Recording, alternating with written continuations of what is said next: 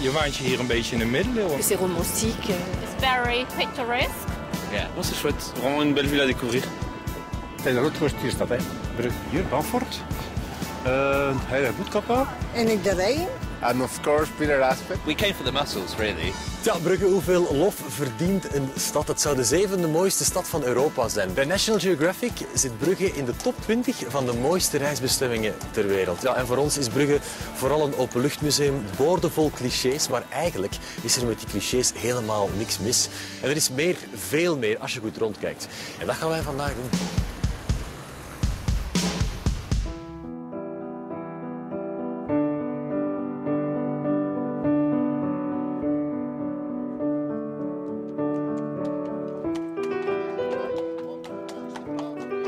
Brugge en zijn clichés. Eh, we zullen maar meteen met het grootste beginnen. Eh, Brugge is het Venetië van het noorden. Houdt dat steek? Dat houdt in een zekere zin steek, al kan je de beide steden niet echt vergelijken natuurlijk met elkaar. Venetië is op een lagune gebouwd, Brugge is gebouwd aan de boorden van een riviertje, de Rijen. Dus dat is al een groot verschil.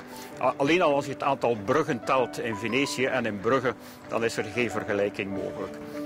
Er is heel veel water in, in, in Brugge. Hè. Eh, Is dat niet allemaal natuurlijk? De basis is een natuurlijk eh, beek of riviertje, zo je wil, de Rijen. Uiteraard is dit in de loop van de eeuwen allemaal gekanaliseerd, verlegd. Bepaalde stukken zijn dichtgegooid, andere zijn nieuw gegraven.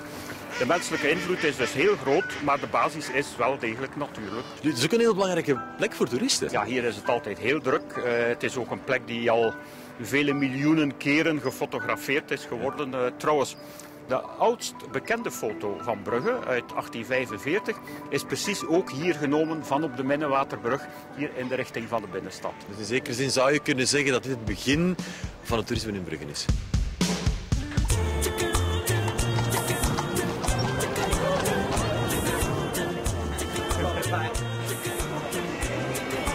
Louis Blanche, het staat nu al nergens op.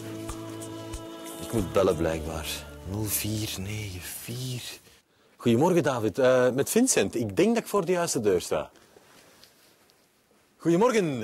Ik ben Vincent. Heel goedemorgen, Vincent. Dag, David. Treed binnen. Ik ga binnenkomen, want het is koud genoeg. We gaan naar het atelier. Het atelier. Hier gebeurt het. Het is een ruimte die in ieder geval tot ieders verbeelding spreekt, eh, ook tot de mijne. En verbeelding is uiteindelijk voor een kunstschilder een belangrijke motor bij de creatie van eh, nieuwe kunstwerken. Kunstcritici hebben het vaak over de term, hoe heet het ook, visionaire kunst. Visionaire kunst. Voor mij prima als term. Wat noem jij het? Narratieve schilderijtjes. Narratieve schilderijtjes. Deze bijvoorbeeld heet Haute Couture. Ik heb mij hier een eh, verliefd koppel eh, ingebeeld. eh, die hun liefde aan het consumeren zijn, als het ware, fysiek dan ook. En ehm, waarbij ik liefde ehm, heb willen uitdrukken als veel eh, licht en ook een zekere pijn, de pijn van de liefde. Het zal ongetwijfeld een gebouw zijn, een huis zijn met heel veel geschiedenis. Wel, het huis is van de 15e eeuw. Zo was het een leerlooierij in de 16e eeuw. In de 19e eeuw was hier een edelsmid gevestigd. En in het begin van de 20e eeuw werd dit het pand van ene baron Joseph van der Elst. En die man die had nogal een nauwe band met het hof. In deze kamer eh, stelde hij Leopold III voor aan zijn tweede vrouw, prinses Liliane. Kijk eens aan. In dat opzicht mogen we eh, stellen dat heel de miserie van de koningskwestie hier begonnen is. Kunnen mensen dan gewoon binnenkomen wandelen, de schilderijen bekijken? Ja, ik heb besloten om op deze sprookjesachtige plek te komen wonen, maar deze plek ook te delen. Het kunstatelier, dat een open atelier is, dat mensen als waren het een galerij vrij kunnen bezoeken. Ja. En van deze plek ook te delen met reizigers. Wij gaan nu naar de gastenkamer Lundemiel. Opgepast voor de middeleeuwse hoogte der deuren. Hier nog een van de zeven gotische haarden van het huis. En eh, dit bed waar volgens baron Gabriel van der Elst, de man die mij het huis eh, verkocht, ons huidige koningspaar Albert en Paola hun huwelijksnacht zouden hebben genoten. In dit bed? In alle discretie, ver van de paparazzi. Dat alvorens hun huwelijksreis naar Mallorca aan te vatten in 1959. En hoeveel kost een kamer? 195 euro. Niet de goedkoopste kamer in Brugge, denk ik. Maar je slaapt wel in het bed waar de koning en de koningin de huwelijksnacht hebben geconsumeerd. Een brok geschiedenis. Hè? Er zijn heel veel accommodaties in Brugge, gaande van heel eenvoudig tot heel luxueus. Maar blijkbaar is dit de enige plek die als het ware een teletijdsmachine is die je terugvoert naar de Gouden Eeuw van de Brugge. Hè? Maar ik vind het bed toch straffer.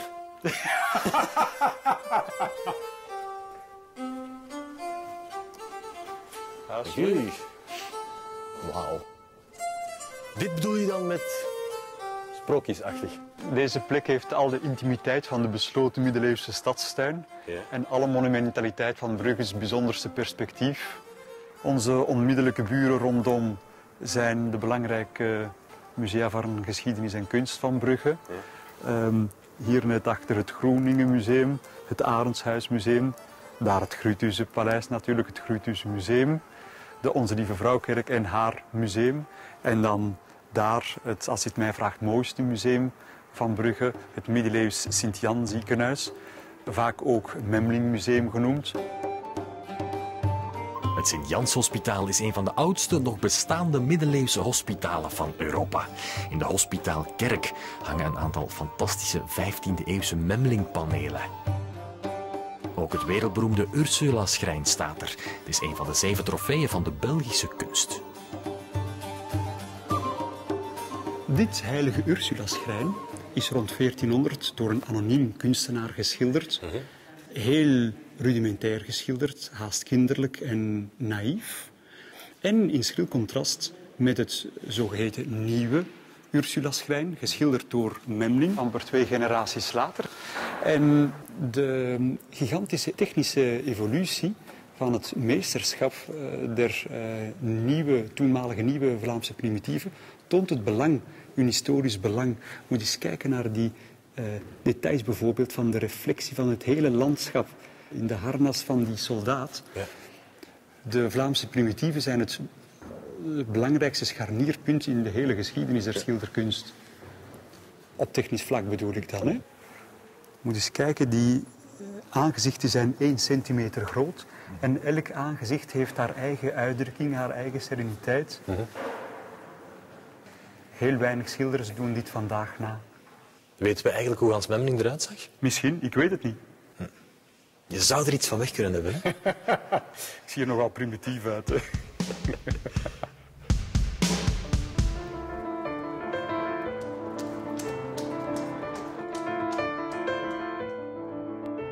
Wollenstraat of eh, hoe je Brugge mee naar huis neemt in een plastic zak. Wat hoort er allemaal in?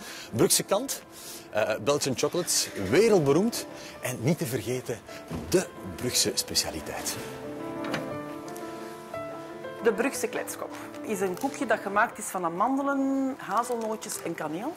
Veel boter. En, eh, en een beetje suiker zit daarin. En in het Frans heet het Dantel de ja. Bruges. Dat is eigenlijk omdat de Brugge eh, is gekend voor de kant. Ja, het lijkt ook Kijk, inderdaad op nu- kant. Hè? Als je kijkt, zie je, het licht komt daardoor. En dat is echt zo fijn, zoals kant eigenlijk. Ja, en waarom heet dat kletskop? Dus de kletskop is eigenlijk omdat ehm, als dat uit de oven komt, dan blinkt dat heel hard. En als je een kletskop opblinkt, blinkt dat ook. Dat is geweldig zoet, hè? Maar wel lekker. We hebben in totaal eigenlijk bijna 30 soorten koekjes. Maar eigenlijk zijn wij los van deze koek ook voor onze speculoosjes zeer gekend. We hebben een zevental variëteiten. Dus je hebt de gewone. Dat is de speculaas zoals we hem kennen. Ja.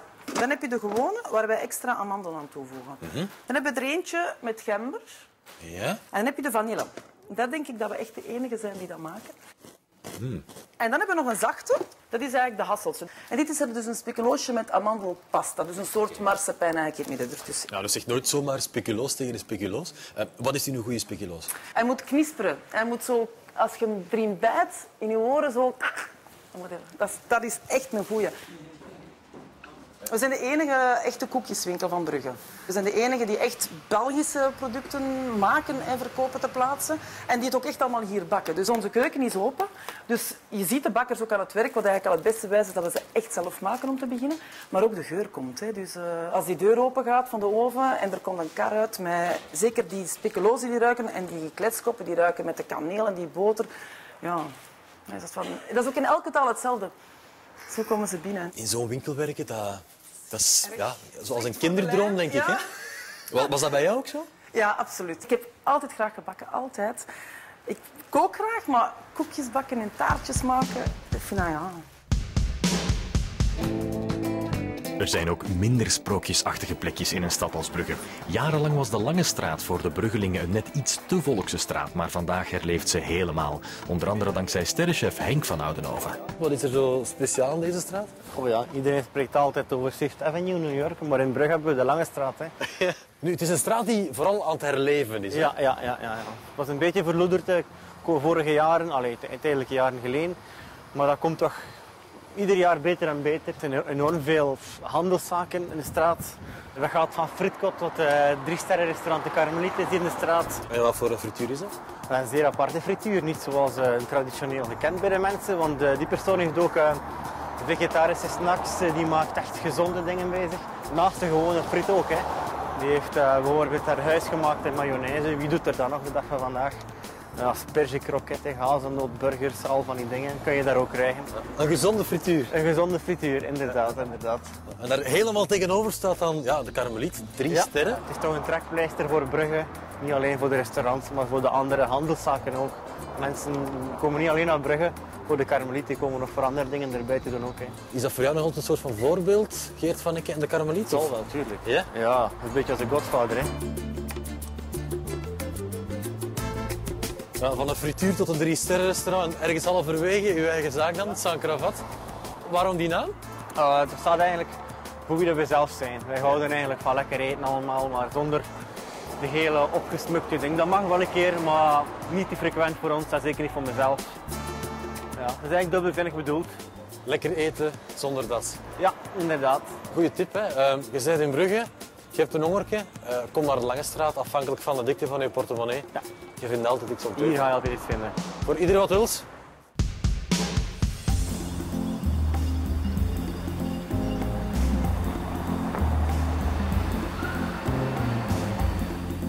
Ja, dit is hem, de nieuwste van Pieter Aspe. Eerlijk gezegd nooit een van gelezen. En uh, ja, naar VTM kijken doen we niet. Dus ver reikt mijn kennis niet. Uh, het speelt zich meestal af in Brugge. Van In is het hoofdpersonage.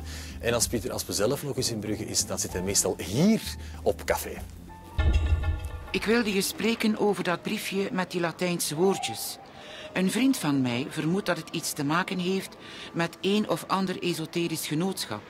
De Rozenkruisers bijvoorbeeld, of de Vrijmetselaars. In elk geval iets van die strekking. Wist die vriend ook wat dat betekent? Negatief zei Van Malen. Maar hij kent wel iemand die het zou moeten weten. Wie dan? vroeg Van In ongeduldig.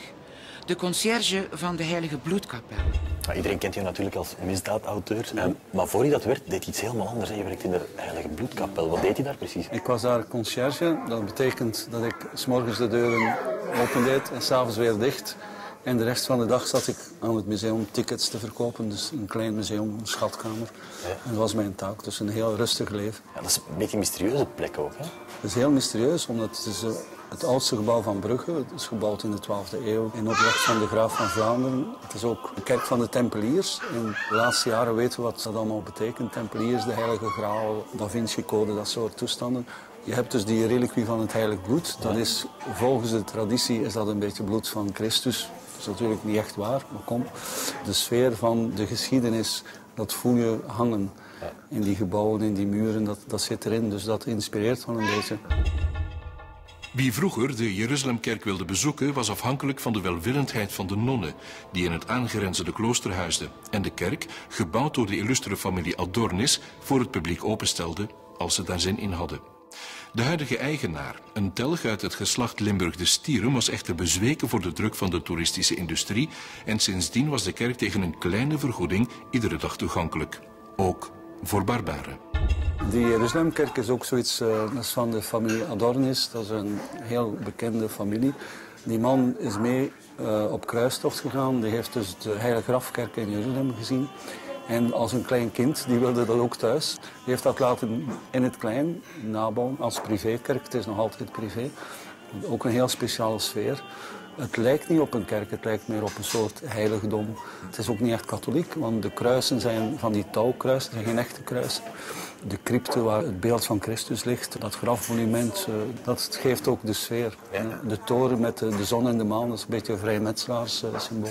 Ondertussen is er wat heel Brugge verwerkt in jouw boeken, en- maar ook bestaande personages, bestaande mensen Ja. hier in Brugge. Hè. Wat moet je doen om in een van jouw boeken terecht te komen? Eigenlijk niks. Ik gebruik mensen eh, als, het, als het past in het verhaal. Ik ben bezig met een verhaal en dan zoek ik soms bestaande mensen. En als ze niet bestaan, dan moet je ze wel creëren. Maar omdat ik heel wat mensen ken, valt me soms iets te binnen. En dan gebruik ik die, die mens als, als, eh, als personage. Moens nepte van de whisky die hij door een van zijn naaste medewerkers had laten brengen. Hij dronk zelden sterke drank, meestal alleen in een crisissituatie. Het televisieoptreden van De Kee beloofde er eentje van formaat te worden. Hij had zo het gevoel dat één borrel niet voldoende zou zijn. De burgemeester is een, een veel voorkomend figuur. Eh, die komt dus als eh Moens in plaats van Moenaert. Omdat de burgemeester is ook zo'n beetje een verzoenende factor. En eh, eh, Van In kan daar soms bij terecht. Soms eh, raakt hij ook verstrikt in de politieke intrigue. Want het is altijd een evenwicht zoeken. Maar uiteindelijk heeft hij een sympathieke rol, de burgemeester. Wat zijn dan de reacties van die mensen die in die boeken voorkomen? Die zijn meestal wel blij, denk ik. Die, de, de, ik heb zelden een slechte reactie gekregen. Ooit eens van de gouverneur. Maar toen had ik gezegd dat hij bepaalde dingen deed die eh, een normaal getrouwde man niet doet. Daar was hij redelijk kwaad voor. De reesduif of Vlissingen? Doe maar de reesduif. Het was behoorlijk rustig in het café. De meeste vaste klanten kwamen pas om een uur of vijf. Alain begroette hen met een brede glimlach en haalde ongevraagd een duvel en een perrier uit de koelkast. Ze gingen aan de ovale tafel bij de deur zitten. Je ziet er vermoeid uit, zei de kroegbaas, terwijl hij met een zwierig gebaar de duvel inschonk. De Rijsduif is nog zo'n locatie? Dat is een van de ja, volkscafés die aan het uitsterven zijn in Brugge. Dat is aan de Lange Rij. Dat is een heel klein café. Het zit altijd meestal stampvol. Alain doet dat helemaal alleen. En daar komt iedereen van alle rangen en standen. En daar hoor je wel iets. De chemie tussen al die mensen. Op een bepaald moment bestaat er geen verschil meer tussen rang en stand. En iedereen loopt maar iets tegen iedereen.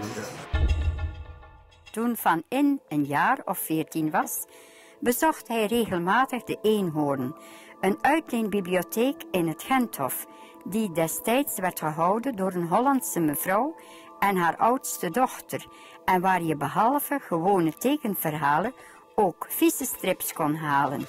Voor alle duidelijkheid dient te worden vermeld dat de vieze strips van toen nu geen opzien meer zouden baren. Boekhandel De Eenhoorn was vroeger, in mijn, toen ik kind was, dus dat is, dat is 45 of bijna 50 jaar geleden, eh, was een bibliotheek, een privébibliotheek. Daar stond dus een jong meisje, Letitia, en je kon daar strips lenen. En voor mij was dat het paradijs. Daar hadden ze stapels en stapels strips. Strips die ik nog nooit gezien had. En later is dat geëvolueerd naar eh, meer eh, boekhandel en tweedehands boekhandel.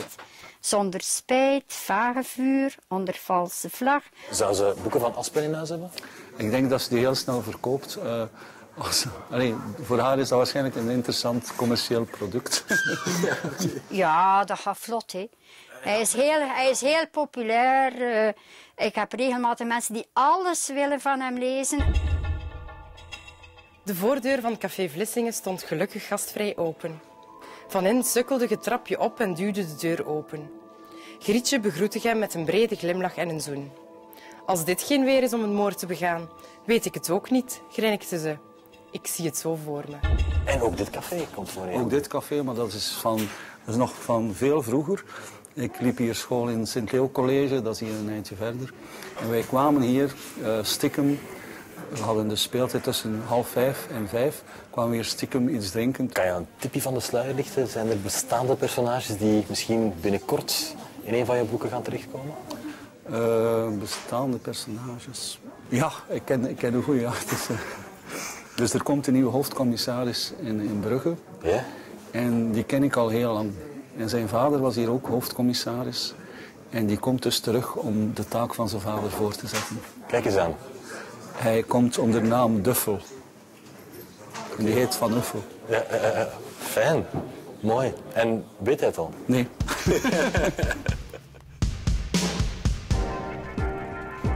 Wij verkopen niets wat je op een ander vindt, zeggen hartsvriendinnen Sabine en Jasmin.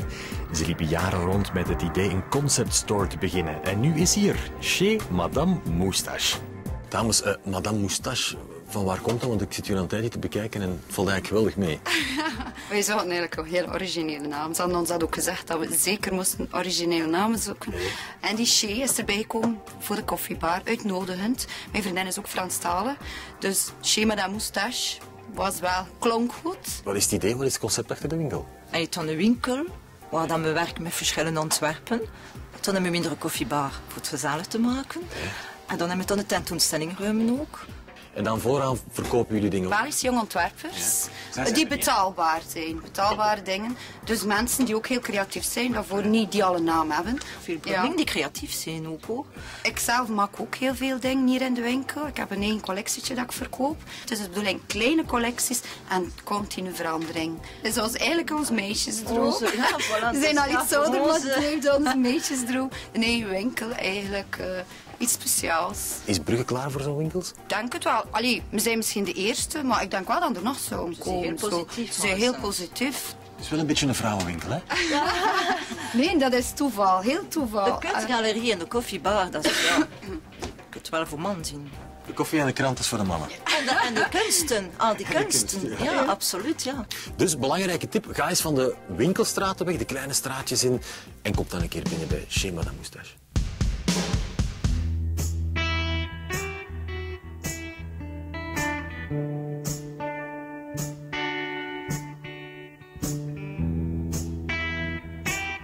Is werelderfgoed en dus ook wereldberoemd. Vraag het maar aan de toeristen die hier komen. Maar is er nog plaats voor de echte Bruggelingen? Absoluut, die zitten namelijk allemaal hier in Café L'Estaminet.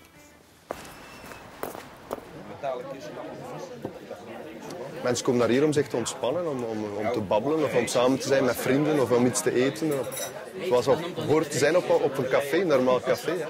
Nu, Brugge blijft natuurlijk een beetje een toeristenstad. Ehm, valt dat mee als jonge gast? Ja, ik, woon, ik ben hier geboren en getogen. Ik, wij zijn dat ook een stuk gewoon. En, eh, wij zijn blij als het winterperiode is. Is de stad soms net iets meer van ons. Maar wij hebben onze plaatsen waar wij weten waar we moeten zijn. Waar het leeft in Brugge. En dit is een van die plaatsen. Brugge leeft? Brugge leeft heel zeker. Wij hebben geen sluitingsuur. Wij leven dag en nacht. Bart, op een plek waar het verleden gekoesterd wordt. En de Maar, toekomst eh, verzekerd is. Vincent. Absoluut, absoluut. Schoon gezegd eigenlijk.